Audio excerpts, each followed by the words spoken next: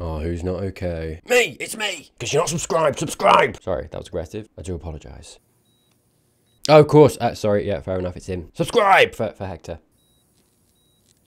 Oh, I bet that feels lovely. But whether he will wake up, That's unacceptable. Johns Hopkins, perhaps. Wow. Does Gus actually end up kind of saving him? Because that's so interesting, isn't it? Because obviously he's trying to save him to then kill him on his own terms. But actually, if, I mean, seems to be where it's going. If he's the one that saves him and makes sure he's, he gets through this and is okay, survives at least. Gus brought about his own demise. Isn't this what he deserves? I decide what he deserves. Right, so this doctor knows. Very interesting. He's uh, deep in the trust of Gus. Hello and welcome to Better Call Saul Sunday. That's right, the show that happens on Sunday. Today is going to be Breathe, episode 2 of season 4. Let us see what it holds.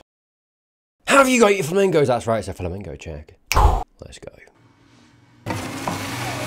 Dude, you're blending at this time. And I made coffee. Yeah! Coffee! You're up early. Oh, did I wake you with the noise? I totally did, didn't I? It's like he's he gives me the impression that he's living on fumes right now. He's kind of going, going, going, going, going. Because if he stops for a moment, everything will catch up. You know, he's energized, energetic, happy, up early, making breakfast, making breakfast for Kim, getting coffee. Boom, yeah, let's go. Do you know what I mean? Fast, fast, fast, fast, fast. Because he's scared of what will happen if he stops. What he'll have to think about. What he'll have to feel. What he'll have to deal with. Job interviews lined up. I wanted to get an early jump. Good. You know, you can take some time off.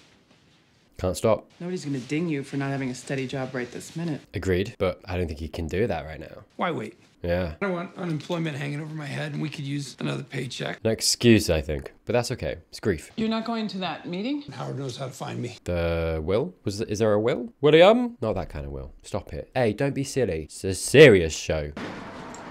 Mmm. Hello, father, daddy. Papa Nacho. Crispy Papa. I should have stopped. Todo terminó. This is sad. I mean, I say that at the end of the day, Nacho made the decision at some point to go back in. We don't know what that is, I think. So, but it's sad considering the context and the fact that Nacho did this to save his dad and how hard he tried. ¿Y cuándo va a terminar esto para ti? Mm. En eso ando trabajando. Good. Comes back to what I was saying last episode. I don't think Gus is going to let him. It's tricky now. Now that Gus, I think, knows. We're doing the balding thing, huh? Interesting that that's uh, something they focused on, actually. Never really thought about it, but I guess I thought maybe it- it was just something that was going to happen. Not really dwell on it, but I'll leave my thoughts for, you know, if that becomes a thing later down the line, which I assume it's going to, considering that little shot there, how that's perhaps going to impact him. Because, you know, talk all you want about it. Unfortunately, societally, for men losing their hair, it's a big deal. Say all you want how it shouldn't be, and I agree it shouldn't be. Nothing to be ashamed of, but we do have it unfortunately embedded in our, our society that a man is lesser if they're losing their hair. Unfortunately. So anyway, anyway, put a pin in that and we'll we'll get to it maybe. But That's a thermofax. It needed a specially coated paper to get an image off one of those babies. oh he's done his research. Ah, I worked in a mailroom, so I Oh fair enough. No he did. talked to a lot of repairmen. A lot. they love talking shop. I believe that too, because Jimmy would have been talking to him. That machine was almost too good. What are you looking for, Jimmy? Hummels. Collecting the little things. Yeah, I knew a lady. Same way. Hmm. Oh, you think you have the chops? I'd sure love a crack at it. He's nailing this in an interview. Says here you were a lawyer. Oh dear, is this going to be a hiccup? What changed? You know why God made snakes before he made lawyers? He needed the practice. Pretty much the only lawyer joke I know, because all the others are true stories. He's rehearsed that bit, I think, but you, you have to. You got to have a good answer. Being a lawyer, my job was sales. Selling the judges, I was selling the juries. Sometimes I was selling the. Yeah, he's right. every hour of every day. I was convincing. Convincing. Yeah. I hear what you're saying. But I can see why Henry wanted me to meet you. something's put him off. Thank you very much. You bet. Yeah, we'll see. Hmm. I wonder if he senses it too.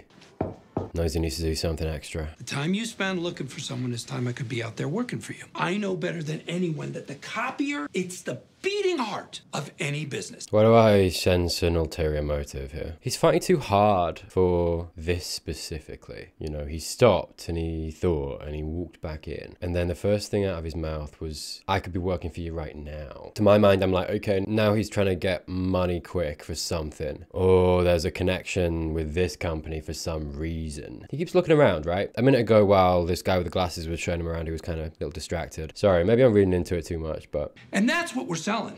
he's selling him a copy right now.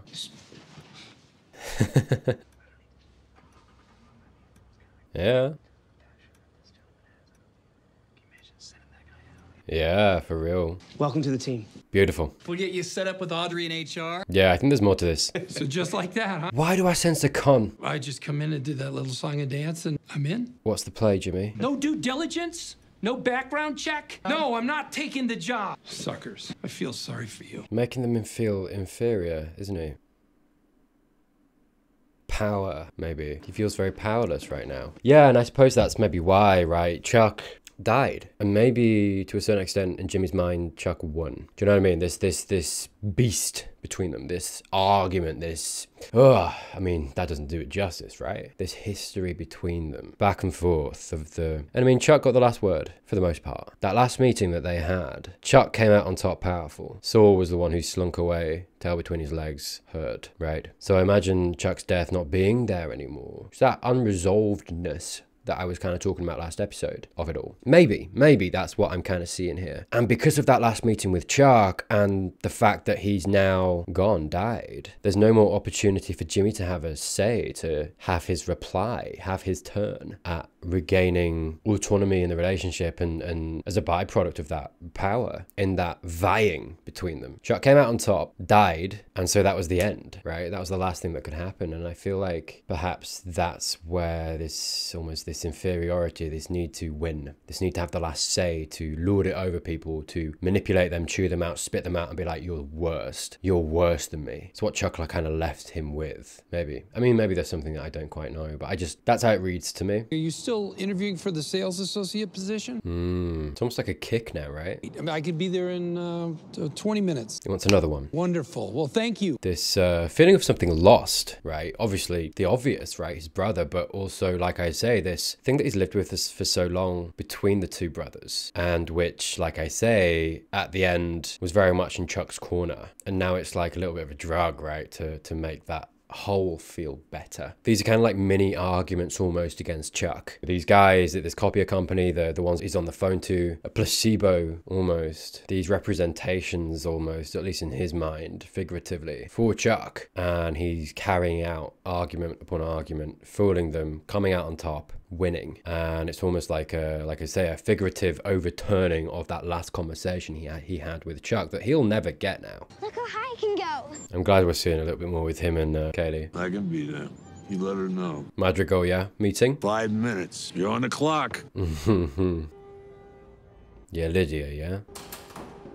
Very fancy. Take a seat. He's helping you out, Lydia. Remember that, okay? Walls through my warehouse, interfere with operations. Why? Lay it on her. It makes for a better cover story. Plus, you had a few things that needed correcting, so consider it a bonus. If I asked you to reconsider, I'd ask you to do the same. at the moment, you have Gus Fring's respect. I'd want to keep that if I were you. I think Gus will respect this, mate, to be honest with you. Uh, sorry, it's just my reaction whenever I see him. Es estimular esas mismas partes. Yeah, get in there, give it a massage. That's why I'm not a doctor. Cuanto más le hablen, más se activará su cerebro para What an awkward party. Hablen. You speak. Really? Okay, no, good. Stepping up. Fair play to you, dude. Don Héctor, Ah, yeah. todo está bien allá afuera. Alright, fair enough, yeah. Los doctores lo van a mejorar. Oh, bless this guy. Fair play. Va a superar esto y estar más fuerte que nunca. Mm, we shall see. I feel like he genuinely takes pride in his work, like this work. I can easily meet wherever is convenient. Really? You're gonna bitch about Mike? I feel like Gus is gonna be on his side, dude. What he's doing makes no sense. I feel like Lydia, you don't understand. He is reliable. Yeah, Gus knows. What mess I'm gonna have to clean up. It's not a mess, mate. Then I suggest you give the man a badge. They took him for a brain scan. You want me back at the hospital? So interesting. Sorry, I've just realised. That's so beautiful what the writers have done here because Gus and Hector is Chuck and Jimmy. Gus is trying everything he can to make sure Hector survives so that he doesn't fall prey to what Jimmy has fallen prey to, right? Oh, that's beautiful. That's perfect. That's so beautiful in its symmetry between the two of them. Everything that I was talking about with Chuck and Jimmy and the way that Chuck has died, and it left a lot unresolved between them. The same thing is threatening to happen between Gus and Hector, and if Hector dies right now, a lot for Gus, everything that he's done here was because of Hector, in large part. He has such beef with Hector, and if Hector dies, he doesn't get to get his revenge. His entire motivation for this endeavor is strongly rooted in Hector. That's what that passion, that anger is, because, and fear, I think, because it's the fear of landing in a place that someone like Jimmy's in, and you see the result of that with Jimmy. He's lashing out at other people to try and get that resolution that he'll never get. And how painful is that? And I, and I suppose there's something in that grief, right? I, I, I get that, you know, the two situations are different, right? Gus is driven by revenge. Jimmy is driven by unresolved feelings with his brother, right? They are, they are different, but they are the same in uh, respect to the devices that they're serving in the show. And it's beautiful as a demonstration, Jimmy, and what happened with him and Chuck, as to the fate that awaits Gus if Hector dies and what he's fearful of, what he's trying to avoid. And I think this episode breathed this symmetry between the two of them and the, their stories. One showing the result of, okay, that's how that is if that happens, and the two sides contrasted is so, such brilliant writing. Yeah, we have been in here, right? Hmm. This is the agreement for the transfer of property. And Bless Howard in those moments you see he's still struggling. Of course, but it's beautiful. It's nice that it's translated in the performance, just in little moments like that. It's interesting, isn't it? Because it's like it's when no one's looking, right? The change between when Rebecca's looking at him and when she looks away is uh, really telling. So you know, look at this. As long as I did, Yeah, I was actually pleasantly surprised. normal Howard. This is you know normalcy. Okay, she's looking away. Rebecca looks away. Down here, look at Howard's face in a second. Look at that. He's holding it together.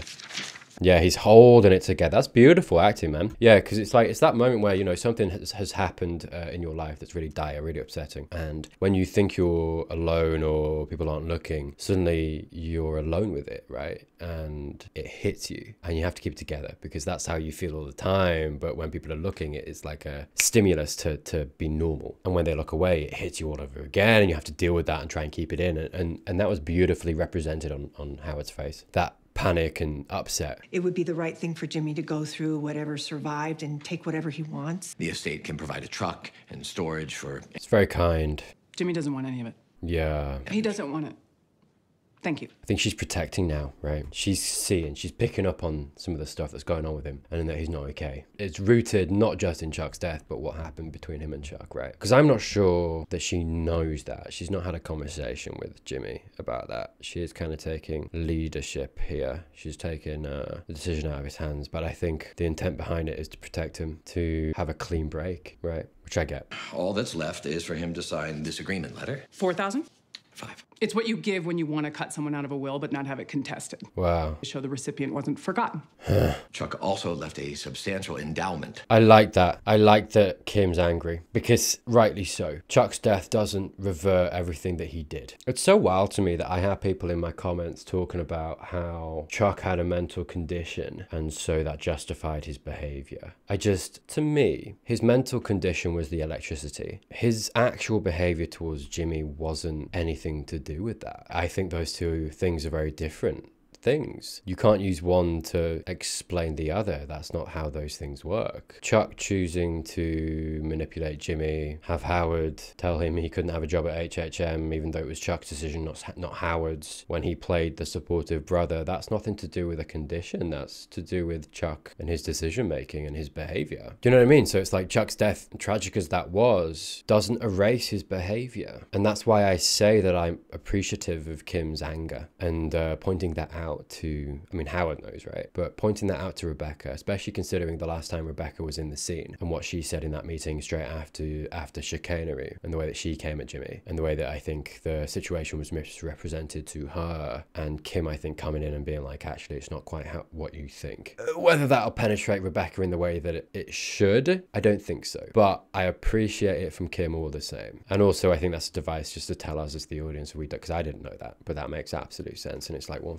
final blow from Chuck, even though he's dead, right? Beyond the grave, and he's still firing shots at Jimmy. It doesn't end even when he dies. Endowment for a scholarship for deserving youth. I was hoping Jimmy would agree to serve on the board. Really? That's you though, Howard. What did Chuck do? He left the endowment. I was hoping Jimmy would. I was hoping. That's you. And as nice as that is, and considering last episode how that ended, I'm wondering how much guilt is ridden in that from Howard's perspective as well. Because I think Howard's kind enough to do that. I genuinely do think that. But also, I do feel like there's some guilt coming in. But again, sorry, that doesn't make it better. It doesn't unjustify Kim's anger and the way that she's coming at them. Chuck left Jimmy a personal letter. Oh, God. His eyes only. Makes me nervous, but maybe it'd be a nice thing. Uh, This is the thing. If it's a nice thing at this point, that might make it worse. Because uh, on top of everything else that I said, sorry, I I am, I'm speculating at this point, but on top of everything else that I've already said this episode about how it's gone and how Jimmy's feeling, considering, right? If then there's a note of kindness from Chuck beyond the grave in this letter to Jimmy, that's almost like, okay, now Chuck's got everything, right? He got the last say. He got to vent his emotions. He got to say bad things to Jimmy that made him feel better in the moment. And then also he got to take the moral high ground and be kind in a letter after his death and settle almost the dispute of the brothers on Chuck's terms. Because it's Chuck, do you know, it, it, it's heavily dependent. Sorry, I'm getting ahead of myself. It's heavily dependent on what's in that letter. I think the implication is this it's something bad, but I think it would be more interesting and would press this idea that I think they're riding with home harder if it's kind it'd be crueler. as, as weird as that as that sounds, just because of what we've already seen in the episode and, and what the stakes are currently. And I think that would make it worse. Because like I say, all the power for how it's all ended has been in Chuck's hands and now he's died and Jimmy has no more recourse to have his say. If now Chuck, who's also kind, takes that moral high ground is like, you know, we've had our differences, but I loved you. And do you know what I mean? All that that, that kind of thing. I can imagine it's that kind of thing because we don't know when he wrote that. He might have written that years ago before all of this happened, right? I, I just feel like that's another blow to this thing already in Jimmy's mind of Chuck got the final say. And he's also, if that's kind, it covers all of the bases, right? And Jimmy again is left powerless in that. What were you thinking Oh, when you came to Jimmy on the day of his brother's funeral and laid that shit on him? That Chuck killed himself? ooh, What's wrong with you? ooh. Uh, okay. I don't know if I agree with how Kim's coming at him. Again, I understand it. It's from protectiveness over Jimmy, right? She's seen everything that's going on with Jimmy. He's suffering, you know, something's wrong. She she can see that. She's not stupid. And to her mind, Jimmy was dealing with something heavy already and then Howard put something else on him. At the same time, I don't blame Howard for that either. I suppose it's easy to misunderstand the relationship between them, right? Because as an audience member, I feel like I know them all intimately. So to me, they all seem like friends. So I suppose when I saw it at the end of last episode, it feels like they all know each other enough for that conversation. But actually, interesting. I suppose actually the reality of it is they're not close at all, especially not Jimmy and Howard. So for Howard to do that, yeah, she's got a point, you know. As much as I sympathise with uh, Howard and do think that Kim's being a little bit harsh here, I do, I do also think she's kind of justified. Actually, the more that I think about it. I thought I owed it to Jimmy. Right. Did you owe it to Rebecca? You tell her your theory? Mm, That Chuck intentionally set himself on fire? it's heavy stuff. Yeah. I guess not.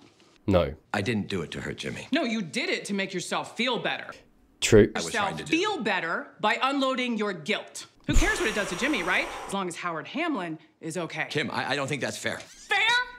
Oh. Let's talk about fair. Go on. Then let's let him pick up a keepsake or two. That is so, so fair. And did I hear you right? You want him to serve on the board of a scholarship committee? A scholarship that Chuck never in a million years Yeah. would have given to Jimmy. Yeah. It is just, I mean, oh, what's this too, huh, Howard? What? One last screw you, little brother, from beyond the grave? Am I really supposed to do this to him? Do you know what though? Can I just have a single moment to just No, no, no. For like for real, based as. Beautiful. Oh, Kim's beautiful. I love Kim. I really do. Say what you want, right? And I think you can.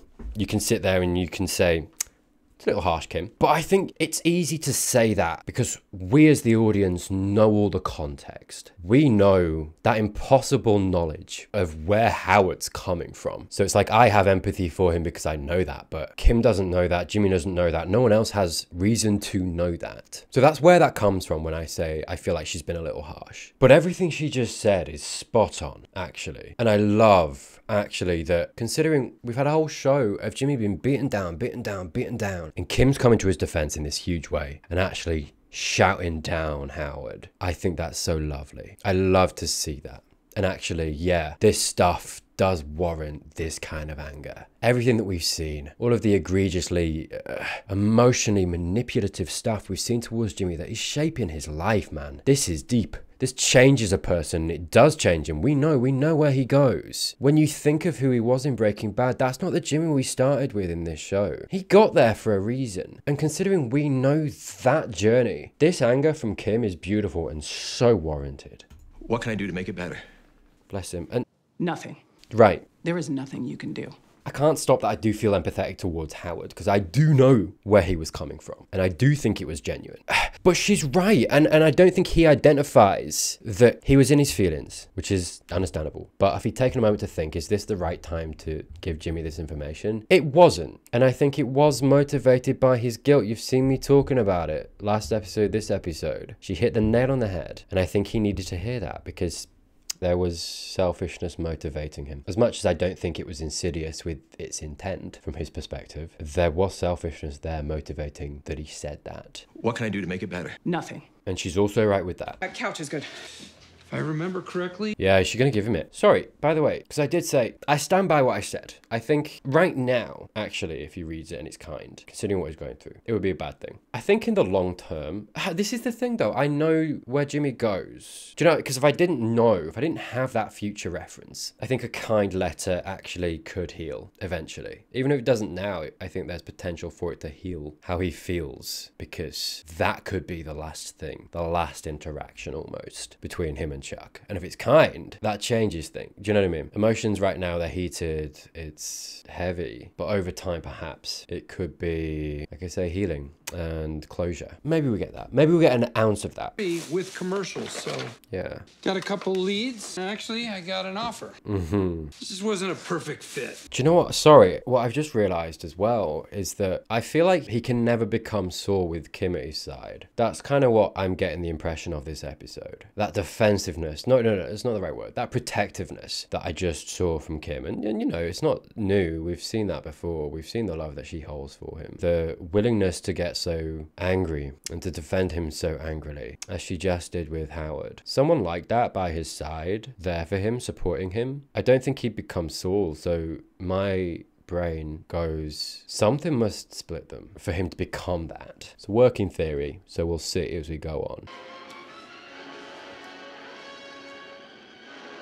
You know, or she dies, but shut up, stop, no. I, okay. Good. Do it while you can. Why not?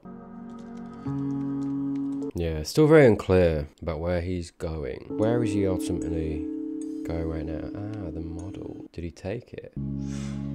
Lot of money. Is he gonna take it? I'm not available at the moment. Leave a message. Can get Mike to take it. I can't remember if, if I've mentioned this before, actually. Uh, and I know I took a break, obviously, so I don't know if I might have said it and forgot about it, or whether this has just been a thought that I've had in my head and not said out loud. But um, I do feel like Chuck not being in the world anymore. I think Chuck being in the world was literally, you know, a check for Jimmy's morality. He was actively stopping Jimmy from misbehaving in some ways, right? And I think with Chuck not in the world anymore, acting that way, literally, but I think also figuratively, right? I think Chuck's presence did keep Jimmy in check a little bit, right? He, I think, I think maybe, and you know, this is me kind of assuming, but it would, I think it would have been natural for him to, as he was living his life, making decisions to a certain extent, being like, ah, Chuck would disapprove, and whether you like it or not, he respects Chuck on some level, on a deep level. As much as whatever else might be going on, I think he, respects Chuck and he wants to please him. Right? That's the kind of the cruelty of the situation. He wanted to please him. And I think that inner voice of Chuck was probably keeping him morally straight. And I think Chuck not being in the world anymore, like I say, literally not there to check in, but also figuratively not being there, perhaps figuratively, in those decision making processes anymore. In Jimmy's head, the absence of Chuck, perhaps now it's like a Jimmy off off the hook, on the loose. And I think this perhaps is signifying that.